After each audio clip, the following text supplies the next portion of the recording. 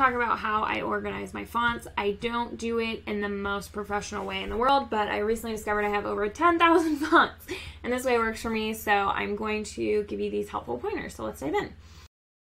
Hi, I'm. I'm a wedding invitation designer. My computer is stressing when I have Illustrator and my face on the screen, so I apologize you don't get to see that today, but I do have tons of free resources here on invitation design, including a free seven day invitation design crash course that is linked in the description of this video.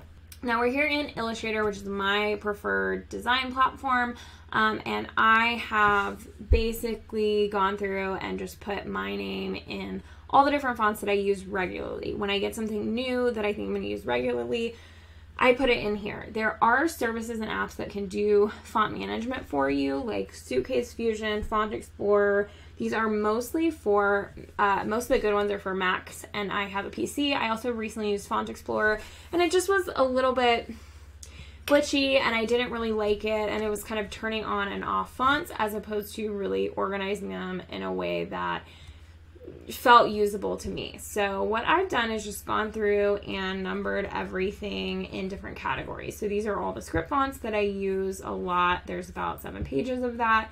And then these are the print fonts that I use. Mostly there's only three pages of that. Then I went through and kind of redesigned these four are my top favorites. And then these ones are separated into categories. So as you'll see, this first two pages is kind of modern, fun, whimsical scripts. This one is more classic scripts, more like copperplate, Spencerian style scripts. And then this one is like very, very modern, um, brushy handwriting kind of look, which has been really popular lately. So if a client does have a question, I usually don't provide a font book to them or a font list, but especially on Etsy, I'm more likely to do that because those clients expect something more transactional. Um, but if a client is just being a little bit more difficult or they say, I don't like the font you chose, but they haven't really given any feedback as to why they don't or what direction they want to go, I can just send them this. If I know they're in that like classic formal direction, I can send them this one and that's everything that fits there. And they can just say, oh, we love number eight, go ahead. So, really um, easy. I love these are the pieces that I send out the most, and then also I refer to the print document a lot just because I don't remember the names of these as much. I'm a lot better at remembering the names of my script fonts for some reason, but these are all just a lot more similar, so I kind of forget the names sometimes and have to kind of click on it and remember what it is when I'm looking for something.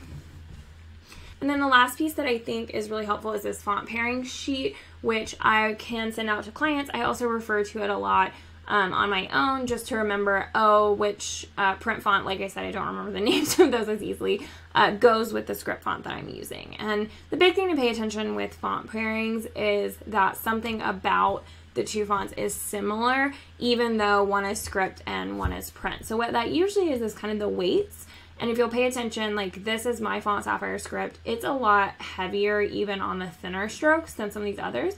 So you'll want to use a font that is a little bit heavier. It's also a very round font. So this, I think this is Futura, works really well with it. Um, this one has kind of a medium weight for the thicker ones and then thin, and that's what you'll match in the script font. And it's a little bit more formal, so something with uh, serifs is really nice here.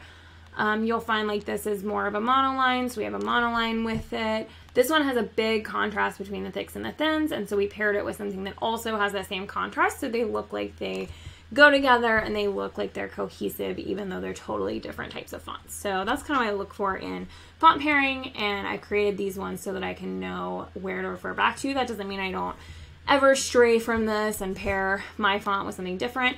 Uh, but these are just kind of starting points for me and things that I go back to regularly because they look nice together.